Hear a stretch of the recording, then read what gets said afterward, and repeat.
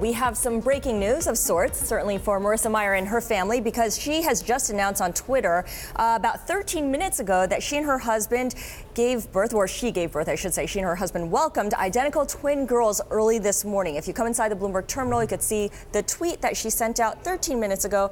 Zach and I are excited to announce our identical twin girls were born early this morning. Our whole family is doing great. Of course, Marissa Mayer uh, has a lot of challenges at work at the moment with Yahoo retreating from its original plan to spin off Alibaba as a tax-free spinoff and now looking into other options, including perhaps um, selling off its core business and uh, looking for a buyer there or separating that part of the business from the rest of the company and its assets in Yahoo Japan and Alibaba. Of course, that's something we'll continue to monitor as time goes on. But congratulations to Marissa Mayer.